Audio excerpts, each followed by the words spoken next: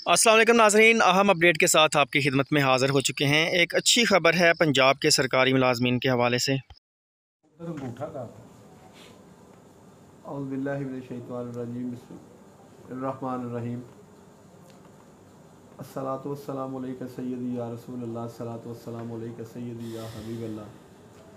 लाखों करोड़ों दरूद नबी करीम सल्लल्लाहु अलैहि वसल्लम की ज़ात अकदस पर वाजबुल इतराम सुनने वाले, देखने वाले बहन भाइयों, अस्सलाम वालेकुम आज जो हमारे मरकज़ी सदर साहब लाहौर तशरीफ़ लाए हैं, सबसे पहले हम इनको और सैयद सदर फार बाचा साहब, मरकज़ी सदर एपका पाकिस्तान, जनाब सज्जाद यूसफ जई साहब, सेक्रटरी जनरल एपका के पी के कुछ दिल की अथा गहराइयों से लाहौर आमद पर खुश आमदीद कहते हैं। और इन मुलाजमीन की जीत होगी। जैसे पहले भी मैंने टिकर चलाया है कि कायदीन को इस्लामाबाद में बुलाया है और इन जो 22 तारीख का 22 तारीख की मीटिंग है, उसमें इन आपका ये नोटिफिकेशन रिवाइज़ होगा। आप तमाम अहबाब से दुआओं की अपील है और क़्यादत पर इतमाद रखें। इन आपके इतमाद पर पूरा उतरेंगे।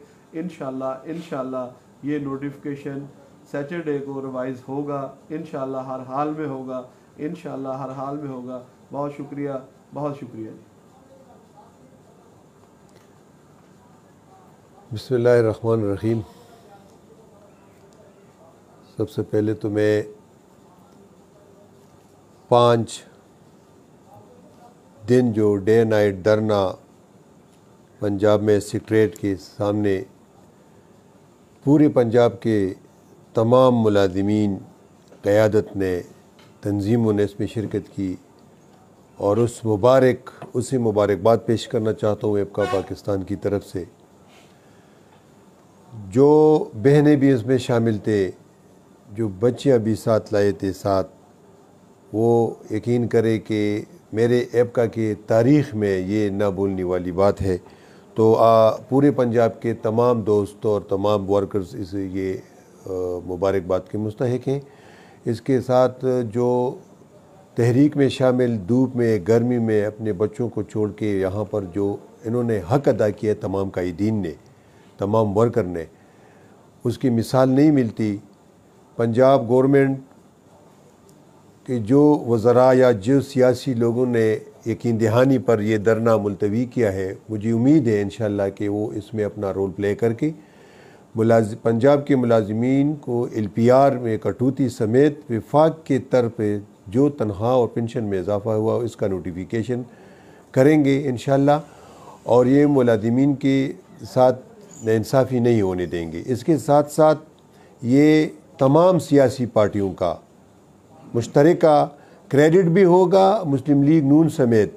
और अगर ये नाकामी की सूरत में अल्लाह ना करे, अल्लाह ना करे कि पंजाब के मुलाजमीन को ये नोटिफिकेशन रिवाइज़ ना हो जाए तो इसके नाकामी का ये सब कुछ जो है वो तमाम सियासी पार्टियों पर फिर इल्ज़ाम भी लगेंगे और ये मुलाजमीन सोचेंगे भी।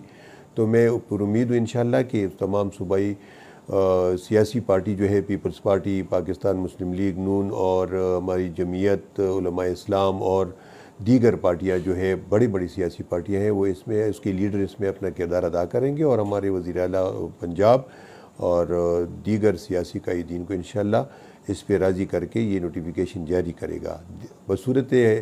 दीगर इन हम ये नहीं कहते कि हम मायूसी की तरफ़ जा रहे लेकिन अगर ये एल पी आर पंजाब में लागू हो गया तो मैं ऑन द रिकॉर्ड कहता हूँ कि ये नेक्स्ट टाइम हर एक सूबे में हो सकता है और इसके लिए आवाज़ उठाना फिर पूरे मुल्क से फिर एपका और तमाम तंजीमों का हक बनता है कि इसके ख़िलाफ़ फिर पूरे मुल्क में एहतजाज होंगे पंजाब के साथ यजीते के तौर पर इन तो हम उम्मीद है उम्मीद है कि आज भी जो वफद इस्लामाबाद गया है, वापसी पे और कल भी इजलास, कैबिनेट के इजलास में ये इसमें शामिल करके तनख्वाह को कंप्यूटराइज करने से पहले पहले इसका रिवाइज नोटिफिकेशन जारी करके एक आठ को इन तमाम मुलाजमीन, पंजाब के तमाम मुलाजमीन को विफाक की तर्ज पर ये इजाफ़ा मिलेगा इन थैंक यू